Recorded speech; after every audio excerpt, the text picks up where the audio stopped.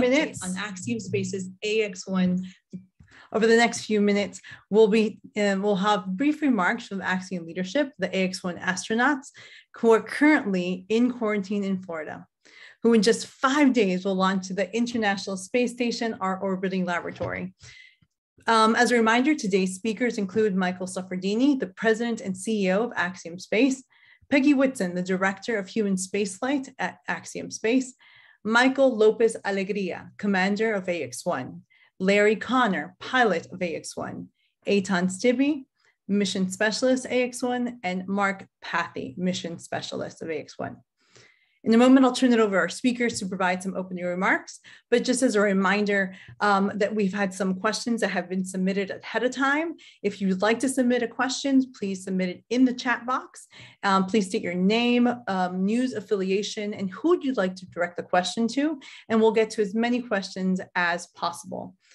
But now I'd like to start and turn it over um, to Michael Suffredini, the president and CEO of Axiom Space. Thank you, Bettina, and good afternoon. It's uh, it's great to be here. As Bettina said, five days away from uh, launch of what is a truly historic mission uh, to the International Space Station. It's the first fully commercial uh, flight to the International Space Station with our wonderful crew uh, that you'll get a moment to chat with.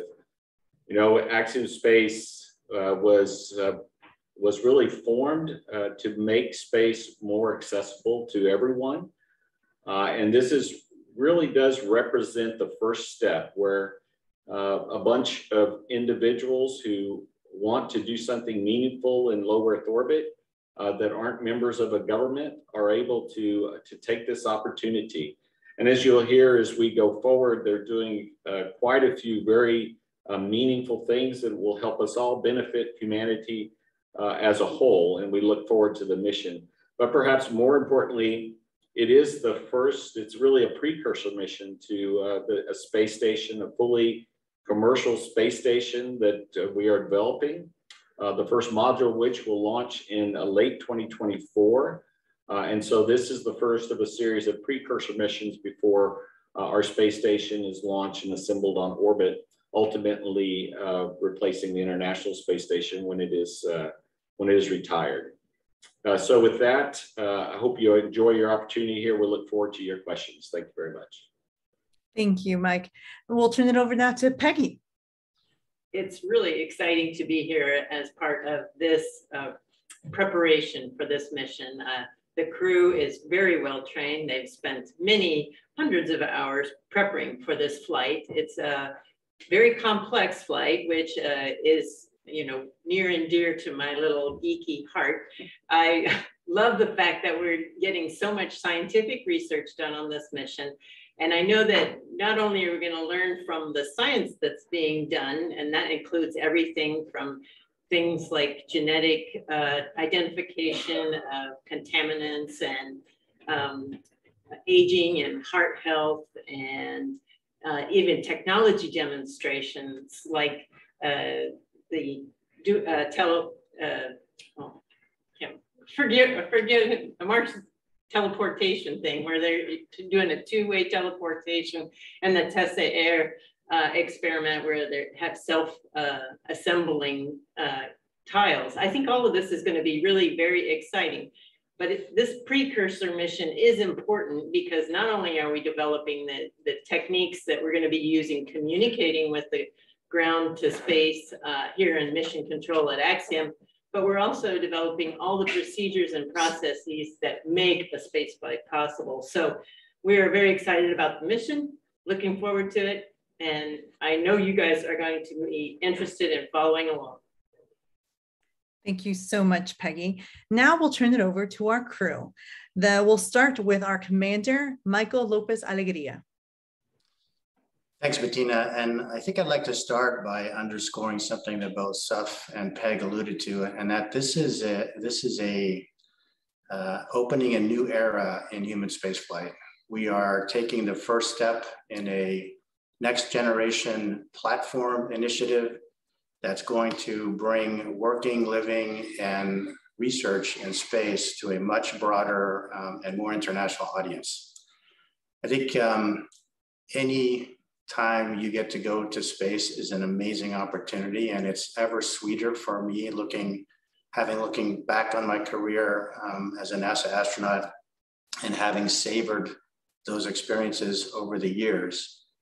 And for somebody who, when I left NASA 10 years ago, I became a uh, very strong advocate for and believer in commercial spaceflight in general and commercial human spaceflight in particular, this is borderlines on, on storybook for me. It's been uh, a real privilege to work and train alongside these three remarkable gentlemen. Uh, we have spent countless hours in simulations, in technical training, in hands-on training, and they have brought unbelievable commitment, discipline, and an eagerness to, eagerness to learn to the endeavor. And I can say with zero hesitation that we are ready to fly. Uh, the teams, starting with NASA, SpaceX, Operator Solutions, all of the educational and uh, research institutions around the world have performed near miracles to get us to where we are today.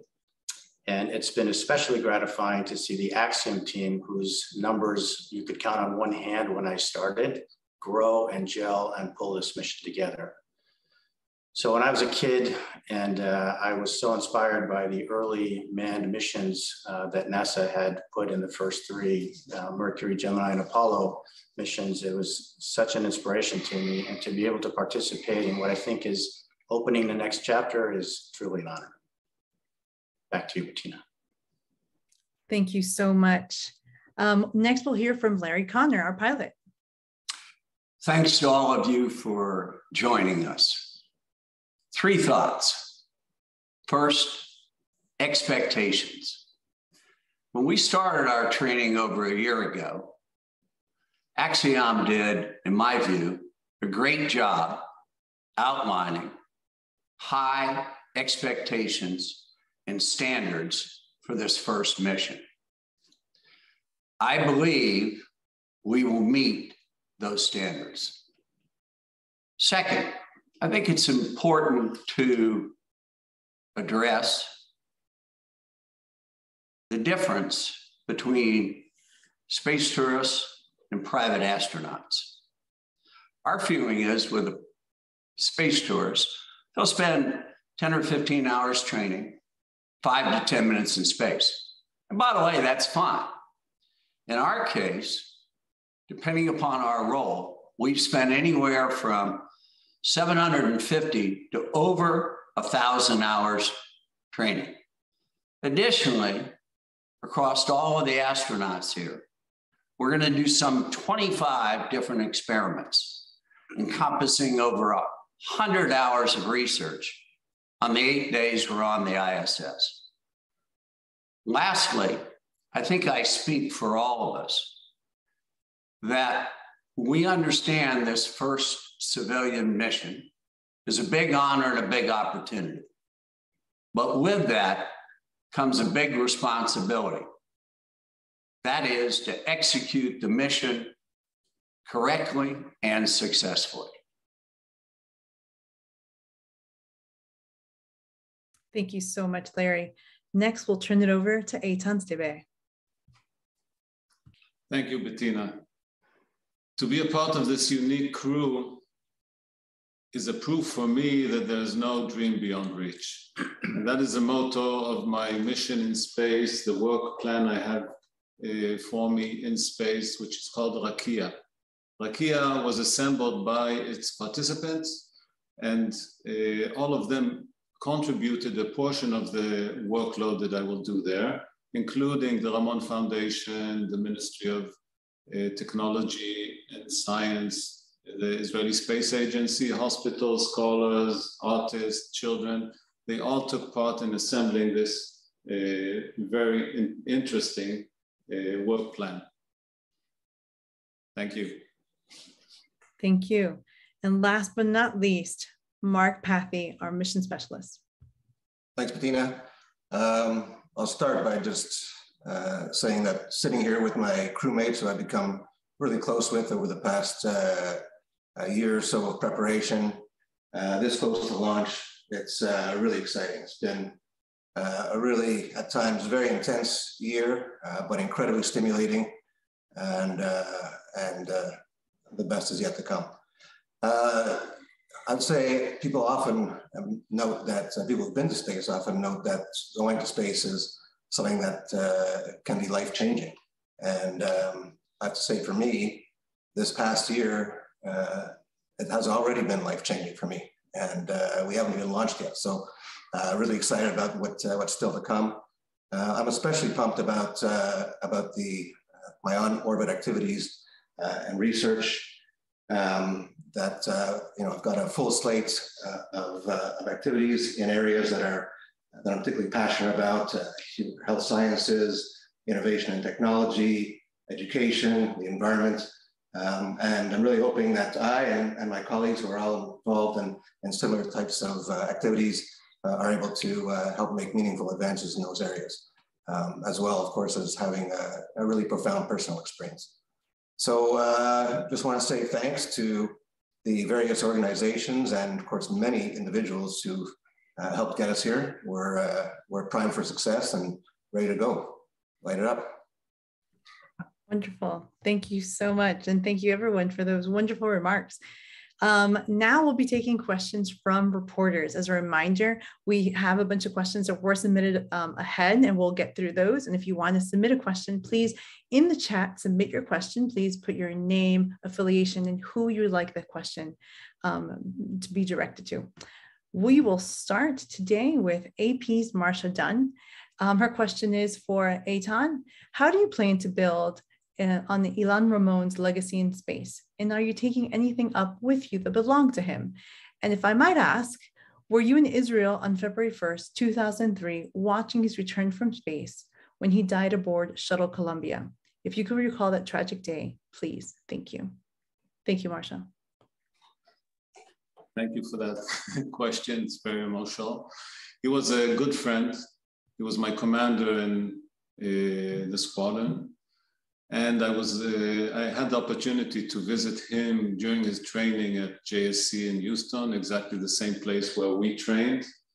And I will be continuing an experiment that he started 19 years ago, uh, mainly focused on observation of thunderstorms. Then on that tragic day of the accident, I was at the squadron, watched with all of the Israeli people, and uh, it was a very painful day. Since then, we stayed in a very close relationship with Rona, his wife, with the children, and uh, till today. And I will take with me a few items. A, a copy of the diary that uh, survived somehow of that crash, a diary that Ilan wrote on board the Columbia during a space flight. And some of the pages survived the crash. I will take copies of these pages with me and I will take a song written by his son and a beautiful painting uh, painted by his daughter Noa of pages falling out of the sky. Thank you, Eitan. Next, we're going to hear from Lauren Grush. Can you explain the protocols for what um, areas of the International Space Station the astronauts can access, and are there any restricted restrictions on areas they can't interact with? And how is NASA calculating the travel cost for the use of those services? So, uh, Mike Suffredini, you want to take that question? Uh, certainly. Uh, let's see. The first is uh, the crew actually does have access to the entire International uh, Space Station, um, and this is not uncommon um, with other uh, private uh, space uh, tourists who have flown in the past. Um, however, they primarily will operate in the US segment and, and by invitation, the, the Russian segment they'll be able to visit. Uh, as far as the, the types of compensation, we, uh, you know, this is what's unique about this mission is it's uh, completely funded commercially. And so we have to uh, compensate NASA for the use of the ISS and, uh, and other services, and we have done that. There are some things we are doing on this flight that uh, helps NASA out, uh, which we get credit for, and there's certain things uh, that we, of course, require from them uh, that we give them credit for. in the end, we, we balance that all out.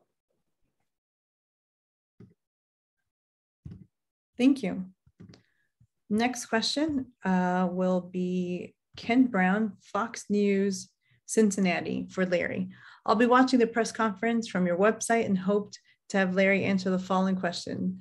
Outside, sorry, outside of being the first private astronaut from Southwest Ohio, what do you hope to accomplish with this flight and what do you want Ohioans to take away from your trip? Yeah, good question. So uh, I spoke earlier about the research, 25 different experiments, 100 hours. Also, we're doing educational out- outreaches, all of us are, to multiple organizations. And the hope there is, is that future generations, we can, in our own small way, uh, inspire them to consider space, consider careers in space. As far as from Ohio, I'm very proud to be from Ohio. Obviously, there's been a number of uh, astronauts from there. By the way, I absolutely do not put myself in their league. Iconic people like John Glenn, Neil Armstrong. And so I hope in some small measure to represent Ohio. And I am actually going to be taking uh, from Neil Armstrong's museum three different items, as well as I live in Dayton, Ohio the birthplace of Orville and Wilbur Wright. So I'll actually be taking a piece of cloth from the Wright's 1903 Kitty Hawk Flyer. Fantastic. That's great. Well, next question is going to be from Jeff Faust of Space News for Michael Suffredini. As the first fully commercial uh, mission to the ISS, what is the business case for the AX1 mission? Will this be profitable for Axiom or investment for the future? Uh, well, Jeff, that's an excellent question. Uh, of course, we're a, a, commercial entity. Our objective is to make money uh, over the uh, the uh, life of the company, or we're not much of a company. Uh, we don't get into too much specifics about these flights and and the amount of profit that we make, but suffice it to say, this is within line with what our original vision of for the mission was. And, you know, ultimately these will grow to a point uh, where uh, when we're flying to our own space station, we'll have uh, quite a bit more access. We'll, we'll evolve these flights to do more and more commercial work. Oh, I'm sorry, commercial research work um, leading on then to uh, manufacturing in space. And we're already, uh, Peggy mentioned a couple of things going on this flights, which are precursors to, to actual manufacturing on space. And so each of these steps uh, represent uh, revenue for the company. Um, and I'm, I'm happy to tell you that, that as a company, we'll be very, uh, will be very healthy, especially in the out years.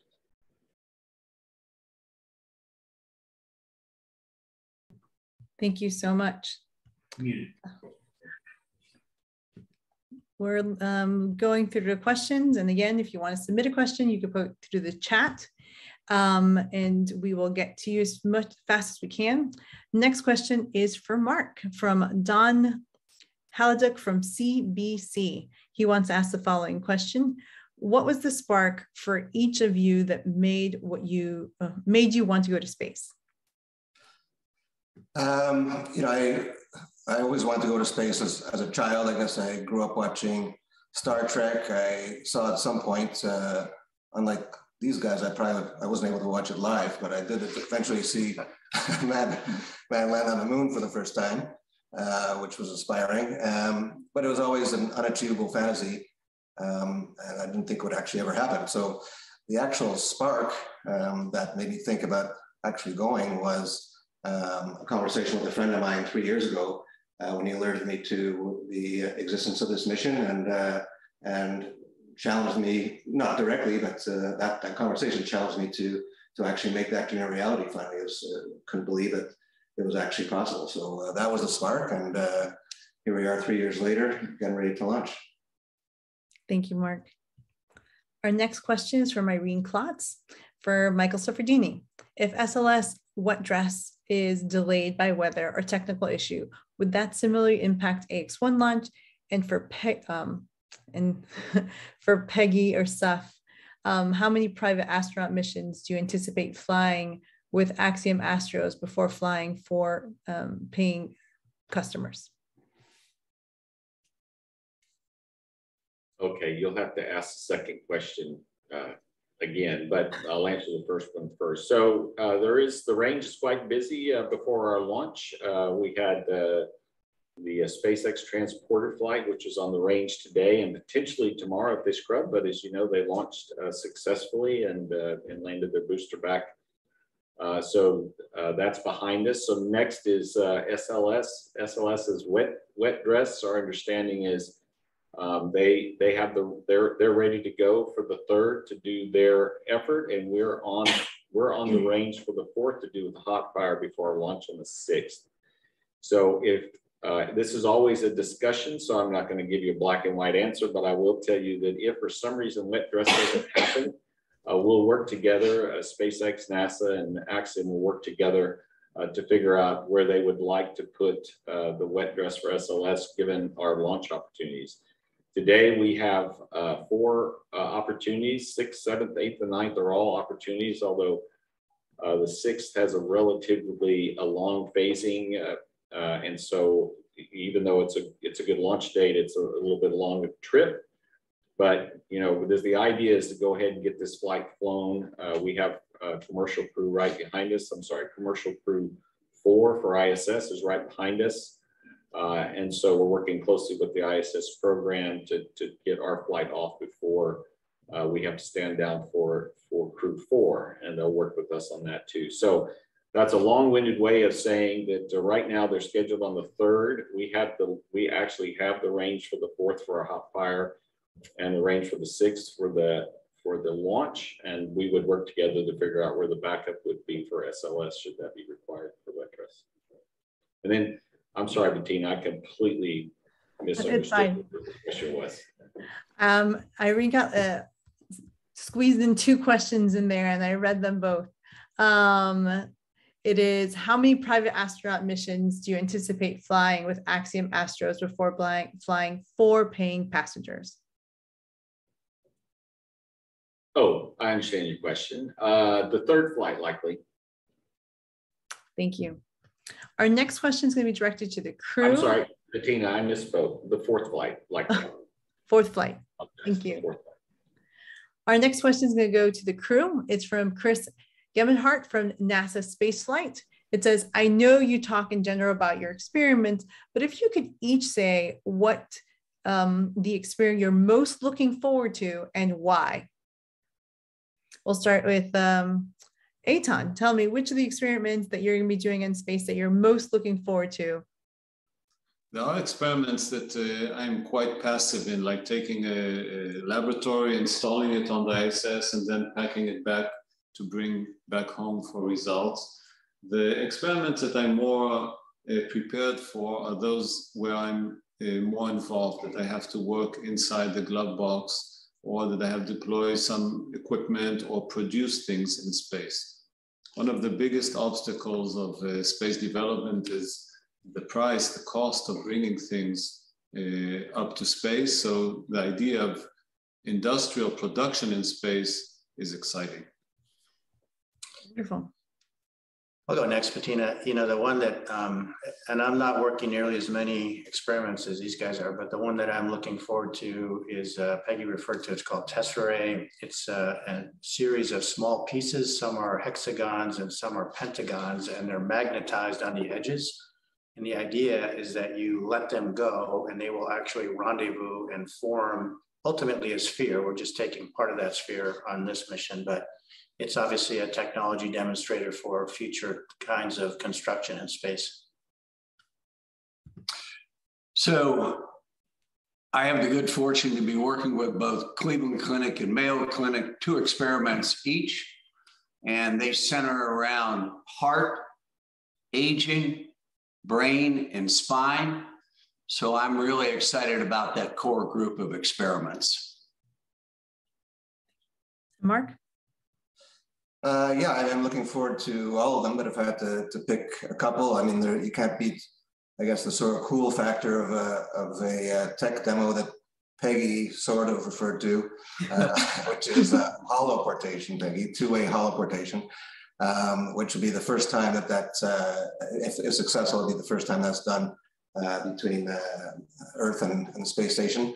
Um, and another technology demonstration with a, a, technology called MedChecker, um, checking, uh, being able to identify uh, medications uh, without any packaging and, and avoiding, uh, avoiding therefore mistakes in, in medicating people and, and, all that, which has applications in space and, and here on Earth.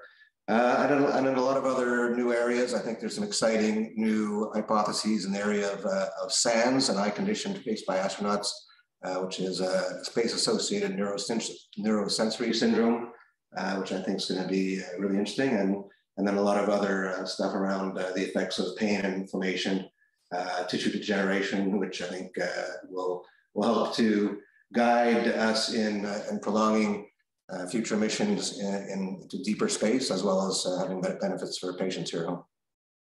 Great. Looking forward to all that great work you'll be doing in space, guys. Our next question comes from the Israeli um, Public Broadcasting, Nathan Gutman. This is for Eitan. And um, they would love if you could respond in Hebrew for their viewers and listeners back home in Israel. This is your last opportunity to speak to the Israeli public before the launch. Can you please share with the millions of Israelis who will be following the mission from Earth your thoughts before you go off to space, the type of last minute preparations you've been undertaking, and any message you might have about the importance of this mission for Israel and Israelis? אני מקווה שזו לא תהיה ההזדמנות האחרונה, אלא שיהיו לי עוד הזדמנויות גם לפני שיגור, גם מיד אחרי התחברות לתחנה וגם משם במשך כל יום, להיות בקשר עם ישראל, עם המדענים, עם מרכז המבקרים, מרכז הבקרה שלנו בתל אביב. ההזדמנות להיות חלק מהצוות המרשים הזה מוכיח עבורי שאין חלום רחוק מדי, כי את כל תוכנית העבודה הרכיבו המשתתפים בפרויקט, כל אחד, אם זה מדען, אם זה ילד או אה, סוכנות החלל, הציעו הצעות, קיבלנו מאות של הצעות של אה, דברים שיהיו כלולים בתוכנית העבודה והצוות המוכשר של קרן רמון, צוות רקיע, הצליח להרכיב ולהעביר את כל הניסויים האלה לדרך כל המגבלות של נאס"א, של SpaceX ושל אקסיום בשביל שהם יתאימו לעבודה בתחנת החלל. אז אני נרגש לקחת איתי את כל הציפיות האלה של כל כך הרבה אנשים ו- ולבצע אותם במהלך שבוע שלם בתחנת החלל. Thank you. Any, can you give us a synopsis of what you said? now you're really excited to go to space. I got it. um, thank you so much for that. Um, we have lots of questions. We will go next with Sophie Sanchez from Chicago News. This is for, for Peggy. The ISS crews have traditionally been carefully chosen from large pools of astronauts across all agencies to ensure crew compatibility. Without a core, um, how um, how do you pick from and what has the experience has been in building um, this camaraderie, this team? Well, I think this crew has done a phenomenal job pulling together all the different aspects that are required. We, like NASA, have done a, a National Outdoor Leadership Training session specifically uh, focused on expeditionary type skills, basically uh, getting along with folks that you live and work with every day, all day. And uh, this crew, I think, had some challenges along that way in that mission, and that actually helped bond them together very strongly. And you can see that, obviously, even in these interviews, that there is a lot of camaraderie there uh, and an important part of the mission. Uh, I think another level uh, is actually the interaction between um, the Axiom crew and the ISS crew.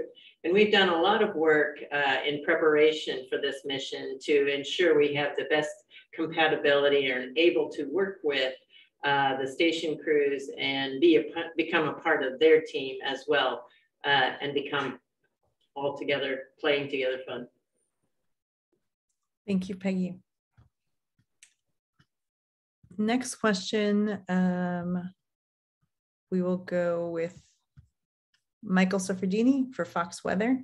For the people who are unfamiliar with private missions, can you explain why this is an important step and what you hope it will eventually evolve to?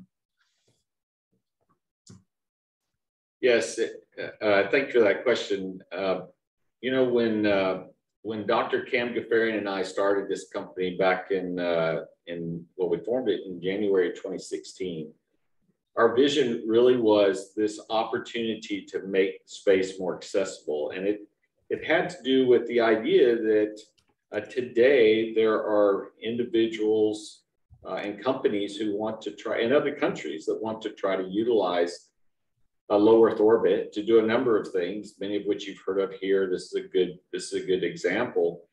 Uh, the, and they just couldn't. Uh, today, there are there are countries and individuals and companies that don't have access to ISS, uh, largely because the 15 countries that own and operate it uh, fully utilize it. Uh, it's a it's a wonderful spacecraft. Uh, of course, it's near and dear to my heart. Um, but it's it's uh, you know it's only got so much capacity and it's it's fairly well utilized. Um, and so the whole idea of these missions was to to give individuals, countries, uh, and companies offered other opportunities to be able to utilize ISS and ultimately uh, do more and more in space. And of course, the growth of the economy in low Earth orbit is very important to us. The utilization of microgravity has so many applications. You've heard them here, but but particularly in manufacturing, the microgravity environment is going to play a big role in 3D printing of organs, uh, fibers you've heard of, all kinds of uh, metal alloys that are so far superior to their cousins on the ground. All of these applications are, are opportunities, and our job is to create the environment and give the access so that when people have a good idea, uh, they have they know they have a place to go and a way to, to implement it. And heretofore, that just hasn't been the case. So you think about the internet, when we all started thinking about the internet, we go, well, that was really cool. I have access to all kinds of things in terms of documents. And of course, it exploded with the, the number of use cases that are out there. That was possible because pretty much anybody with a little bit of programming skills and a good idea could go create an app and get it on the internet, and it, and it was a booming business. And we're trying to create that same environment because when you start thinking about the applications of microgravity and the role it can play in almost every industry, it is really way beyond what we can imagine today. And so the whole idea was to, to open up this whole world uh, to everyone to try to exploit and utilize in a way that ultimately will benefit uh, humanity. Thank you. Our next question comes from Marcia Smith, and this is for Mark. Similar, similar question to what was asked of Eitan. What message do you have for Canadians about the importance of this mission for them in Canada? How is it different? How is it different? How different is your flight from those of the professional Canadian astronaut corps? Uh, obviously, a, a, big difference is uh, in the funding, which is uh, obviously for this flight not coming from from the government but coming uh, privately. Um, I think that uh, the message I hope Canadians get from this, uh, I hope to be successful in, in highlighting the value and importance and uh, and uh, and uh, sheer amount of Canadian research that is available, is going on, um, and that that can be promoted. A lot of this this research that I'm taking up uh, which, is, which does come from Canadian universities and research institutions, uh, would not have otherwise probably had the opportunity to get tested in space. Um, so I'm happy to, to provide that opportunity. And I hope that uh, in the future, uh, other Canadian private astronauts will be able to collaborate with the government for even greater impact um, and, uh, and not just create research opportunities, but I think take advantage of the many economic opportunities uh, available for Canadians uh, in this new space economy. Thank you, Mark. Our next question comes from Manuel Mazanati from Debate Spanish Radio. I'm going to read it in English and Spanish.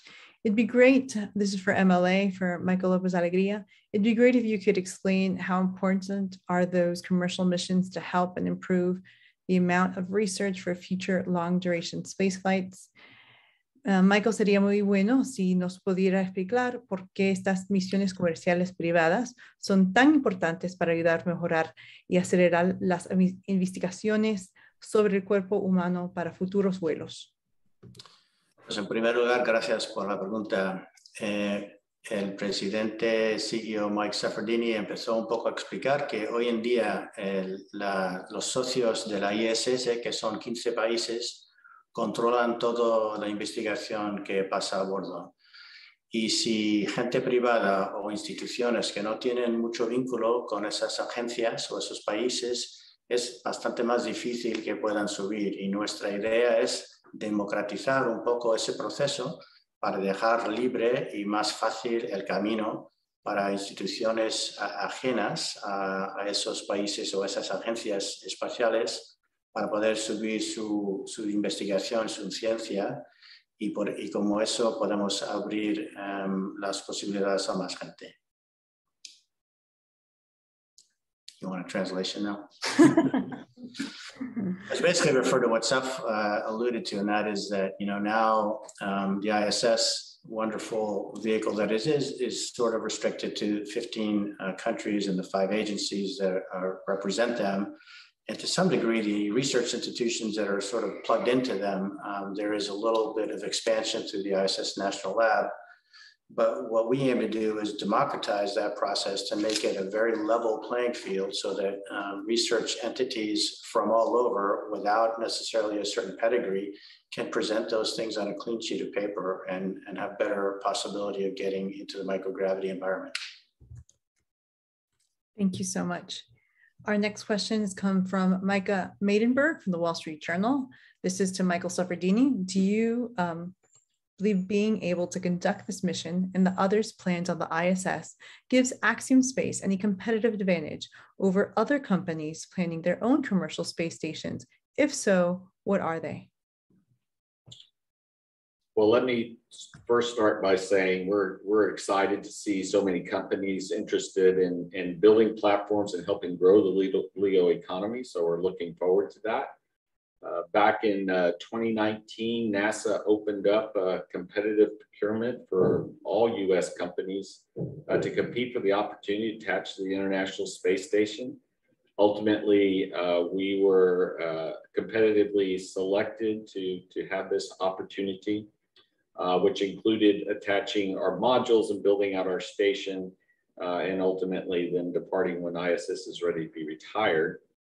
Um, and in addition to that, as part of our, our effort, we have had, we've established these series of uh, flight opportunities, which we do have to compete for. They're not, they're not given to us. So we, we have to uh, request from NASA for each of these opportunities that we fly because there's very limited opportunities to ISS.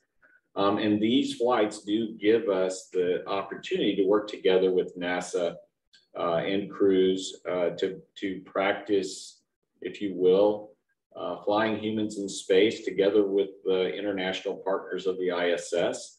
And that's very, very important because uh, after our first two modules are on, on orbit, we'll be able to house uh, eight crew. We'll have life support and quarters and, and all the facilities necessary to support eight crew and, and do research. Our third module actually brings on a, a, a research dedicated uh, module. And so it, you can imagine at that point we'll be very busy.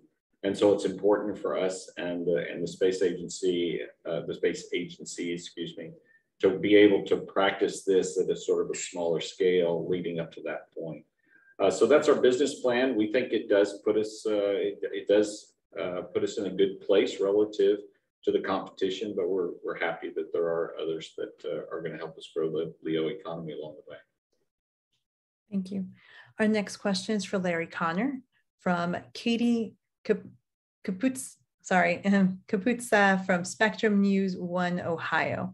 What does it mean to you to pilot this historic mission? How do you see this mission changing the way people view getting to space in the future? Yeah, Katie, uh, thank you for the question, but I really don't think it's about me. I think it's about the team. You know, my role is to support everybody, specifically uh, the commander. And I think this is the first step in many steps to have both the private sector and the public sector work together to expand, you know, opportunities, whether it's research, technology growth, great careers, et cetera. And by the way, that's not just for Ohio, the Midwest of the United States. Uh, I think that's around the world.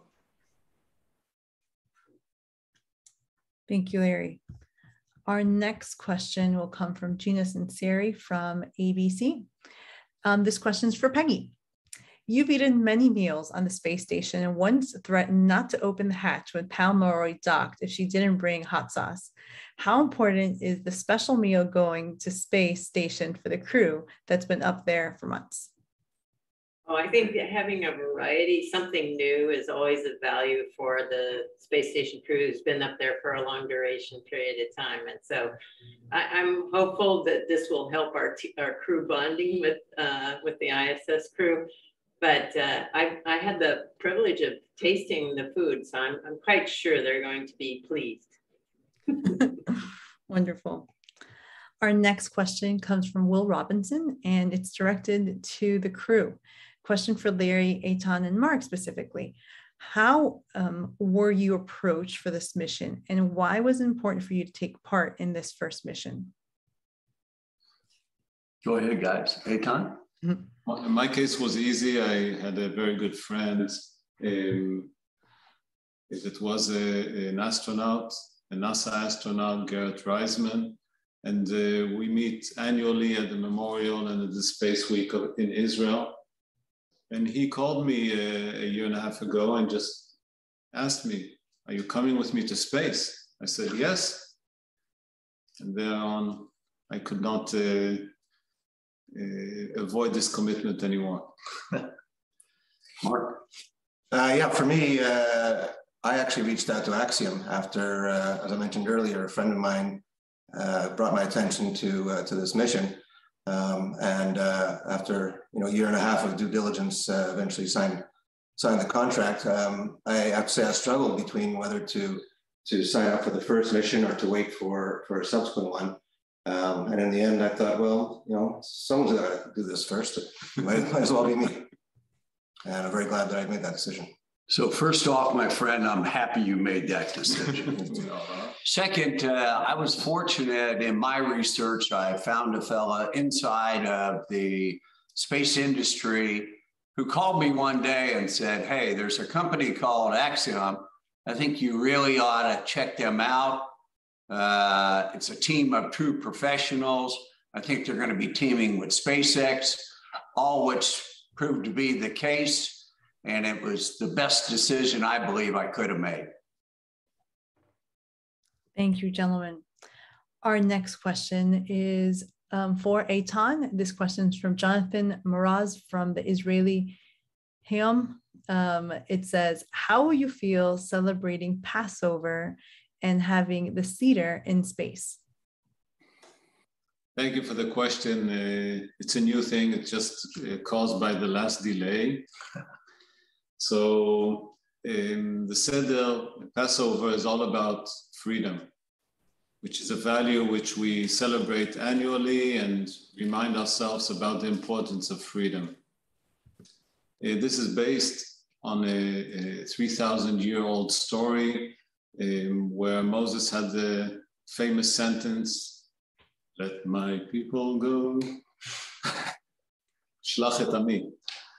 And uh, we have several traditions in that uh, feast, including drinking at least four glasses of wine. So I took a wine glass with me, but I don't think I will find any wine in the station. And I don't think I need a glass to drink wine. Thank you so much, Eitan. Um, our next question will come from, forgive me here, we have a few um, for we, we have a few more minutes before conclude. So if you want to submit a question, please do so in the chat. Um, and our next question is from Alex Diaz from Fox News. What do you hope this mission will contribute to the broader history and future of the ISS, particularly um, given everything that's going on in the world and international relations broadly?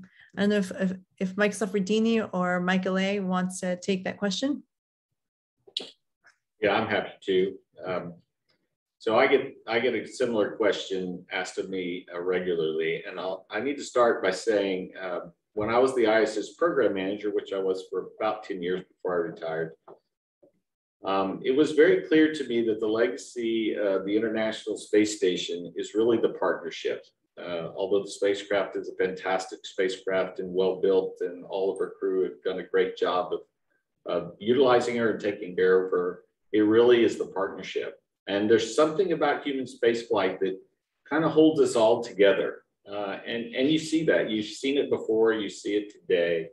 In spite of everything going on, uh, we're still together as a partnership.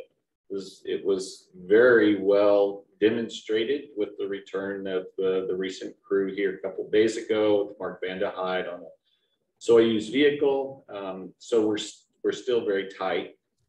And for us, for my vision of, of our species, um, it's really about exploring beyond low Earth orbit. We really need to learn to live off our planet for, for a lot of reasons. There's this innate desire to, to explore that we all have. There's this uh, need to make sure that we can survive whatever happens, which means we need to learn to live off the planet.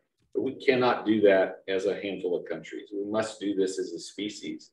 And so when we start human spaceflight, and it's a unique opportunity to hold uh, countries together, our job is to grow the number of countries that are working together in low Earth orbit and let, let them together explore beyond low Earth orbit. So we do do it as a species. And so that sounds pretty grandiose, I must admit. Um, we talk a lot about the applications and, and the utilization of microgravity environment, but really deep down, this is about uh, pulling us together uh, as a as 200 and whatever countries that we are today. It's about pulling us all together, and this this human space flight is a unique opportunity to do that. So I'm thrilled that we have um, a, a, crew that is uh, multinational. That's one of the coolest parts about this mission is that. Um, and because it represents this step that's so important to, for us all to do, when you get to orbit, you see this big blue ball. You don't see borders, you don't see dogma. You see this wonderful blue ball that we all share together. And it really does drive us to try to, you know, figure out how to, to live peacefully together. So I see it differently. I see flying to space as a bunch of nations is what pulls us, help pulls us together uh, in spite of, of our differences on the ground. Thank you so much for that. Um, I have a question from Marcia Smith um, to the crew, specifically um, to Larry, Mark, and Eitan. Apart from your family and friends, what kind of reaction do you get from non-space crowd when they learn what you're doing? I will start with Eitan. Sorry, I'm just That's going fine. in order. There's a huge excitement in Israel about uh, having a, an opportunity to hear Hebrew from space after 19 years, to take part in this uh, incredible uh, international cooperation, the, the International Space Station, and uh, the whole country is looking forward to, to this mission. So I'm, uh, I'm there and I'm trying to perform as much as possible